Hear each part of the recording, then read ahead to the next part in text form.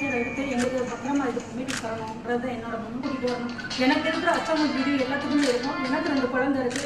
எனக்கு அவங்க தைரியம் சொல்றாங்க. பட் அவங்களுக்கு தைரியம் சொல்ற அளவுக்கு டெய்லி பண்றாங்க.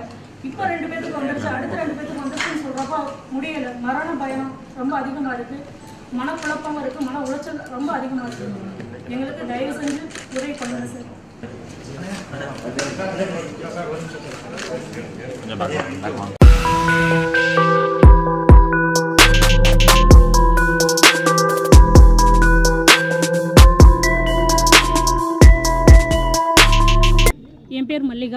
கணவர் பேர் அன்பழகன். அவர் டைமண்ட் பிரின்சஸ் அப்படின்ற கப்பலில் வேலை ஒர்க் பண்ணுறாரு ப பது பத்தொன்பதாம் தேதி தான் அனுப்புவான்னு சொல்லி சொல்லியிருக்காங்க.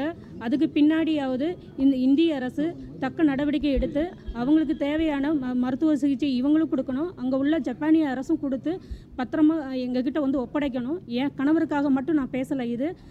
அங்கே உள்ள அஞ்சு தமிழர்கள் இருக்காங்க. என் கணவர் உட்பட அஞ்சு தமிழர்களும் அவர்களோட சேர்த்து நூற்றி அறுபது மொத்த நூற்றி அறுபது இந்தியன்ஸ் இருக்காங்க. எல்லாத்தையும் பத்திரமா கொண்டு வரணுன்றன்றது தான் என்னோட வேண்டுகோள். எங்கள் சட்டமன்ற தொகுதி உறுப்பினர் எங்களுக்கு உதவி பண்ணியிருக்காங்க. அவங்களுக்கு நன்றி. மத்திய அரசுக்கும் மாநில அரசும் இதில் தலையிடணும். அவங்களுக்கும் நன்றி. இந்திய தூதரகமும் தயவு செஞ்சு அவங்களுக்கு ஹெல்ப் பண்ணணும். எங்களுக்கு ஹெல்ப் உதவி மனு கேட்டு தான் நாங்கள் வந்திருக்கோம். தயவு செஞ்சு எங்களுக்கு ஹெல்ப் பண்ணுங்கள் த- மீடியாவுக்கு மிக்க நன்றி. எங்களுக்கு உதவி பண்ண அத்தனை அத்தனை பேருக்கும் நன்றி. மக்கள் அனைவரும் எங்கள் என் என் வீட்டுக்கார் மாதிரி மற்றவங்களும் இருக்காங்க. தயவு செஞ்சு எல்லாருக்கும் ப்ரேயர் பண்ணுங்கள் பத்திரமா வந்து சேரணும். அதுக்கு உங்களோட எல்லாரோட உதவியும் எங்களுக்கு தேவை. தயவு செஞ்சு பிரார்த்தனை பண்ணுங்க. நேற்று ஆமாம் இருக்க இருக்க பரவிக்கிட்டே இருக்குன்னு தான் சொல்கிறாங்க எனக்கு அவர் ஆறுதல் சொல்கிறாரு நான் எங்கே பயந்துருவனோ? நான் பயந்துருவனோன்னு சொல்லி எனக்கு ஆறுதல் சொல்கிறாரு பட் அவருக்கு என்ன ஆறுதல் சொல்கிறதுன்னு எனக்கு தெரியலை.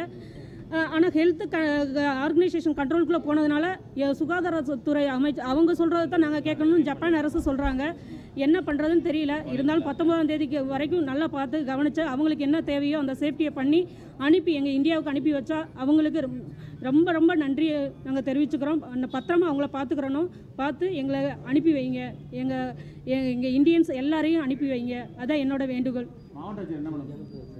மாவட்ட ஆட்சியர் இதான் சொன்னாங்க. அவங்க ஹெல்த்து இதுக்குள்ளே போயிருச்சு. பத்தொன்பதாம் தேதிக்கு மேலே தான் வருவாங்க அப்படின்னு அவர் சொன்னார் சார் சொன்னாங்க. சரிங்க சார் எங்களுக்கும் தெ எனக்கு தெரியும் சார் அப்படின்னு நான் சொல்லலை. சாரி எனக்கு இப்போ வார்த்தை வரலை. மன்னிச்சிருங்க. தேங்க்யூ எனக்கு ரொம்ப இதாக இருக்குது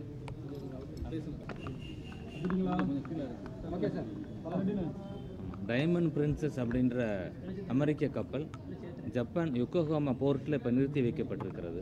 இப்போ உலகம் எல்லாம் அச்சுறுத்தக்கூடிய கொரோனா வைரஸ்.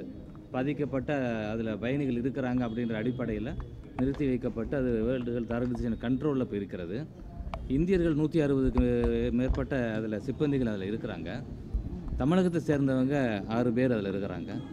அதில் எனக்கு வந்து அன்பழகன் அப்படின்றவர் என்னுடைய தொகுதியை சார்ந்தவர்.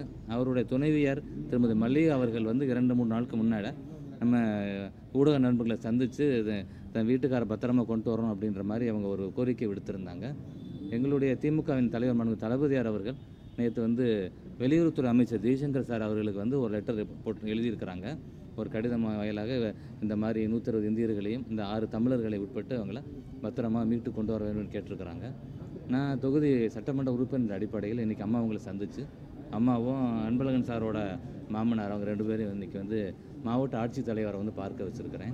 மாவட்ட ஆட்சித்தலைவரும் இதற்கு வேண்டிய ஸ்டெப்ஸ் எடுக்கிறேன்னு சொல்லியிருக்கிறாரு.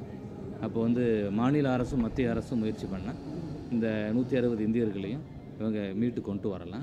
இந்த கொரோனா வைரஸ்ன்றது நம்ம இவங்களுக்கெல்லாம் பாதிப்பு ஏற்படலை. அந்த ப- பயணிகளில் கொஞ்சம் பேருக்கு பாதிப்பு இருக்குது அவங்கள அப்புறப்படுத்தி வைத்தியத்துக்கு கொண்டு போயிட்டாங்க.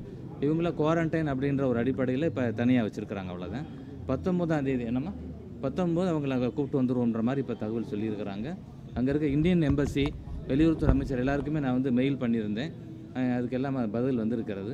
நிச்சயமாக இவரெல்லாம் பத்திரமா மீட்டு கொண்டு வரப்படுவார்கள் அதை இன்னும் கொஞ்சம் வலியுறுத்தணும் ரீஇன்ஃபோர்ஸ் பண்ணணுன்ற ஒரு அடிப்படையில் இன்றைக்கி மாவட்ட ஆட்சியர் வந்து பார்த்துருக்கோம். அவரும் வந்து அதற்கு தக்க நடவடிக்கை எடுப்பதாக உறுதியளித்திருக்கிறார். நன்றி.